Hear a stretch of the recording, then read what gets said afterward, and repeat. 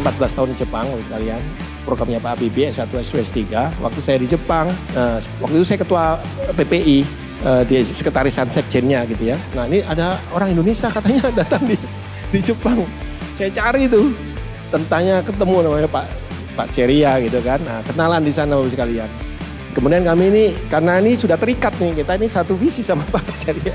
Mengapa kita membutuhkan ceria halal wisata? Wisata halal itu menjadi penting. Alhamdulillah jalan wisata dan pilihan tepat Bapak Ibu sekalian sebagai mitra-mitra apalagi di daerah-daerah itu masih banyak itu yang mau.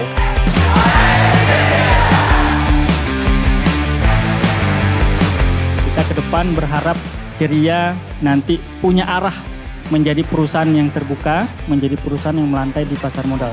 Dan harapannya dengan adanya kehadiran para mitra yang hadir pada kesempatan kali ini, kami berharap dan kami akan concern sekali selaku holding company di Ceria Halal Wisata untuk bagaimana membangun sistem yang kuat, mungkin digitalisasi yang kemudian semakin canggih ya Bu ya, yang kemudian bisa memberikan transparansi segala macam tadi, mungkin dari omset segala macam yang bisa kita lakukan dan juga pelayanan tamu yang uh, memuaskan. Itu nanti penting harus kita lakukan. Dan ini nanti mungkin semoga menjadi opportunity dan peluang bagi Bapak Ibu semua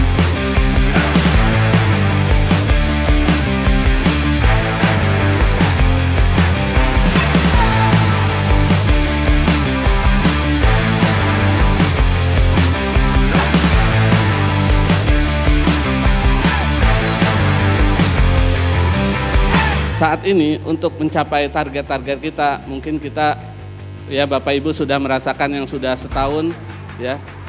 Bahkan ada yang sebelum pandemi ya. Makin lama pasti setelah brand kita dikenal oleh warga sekitar insya Allah lama-lama kita akan makin banyak ya permintaan dan request insya Allah. Dan itu butuh uh, tentunya produk yang bagus ya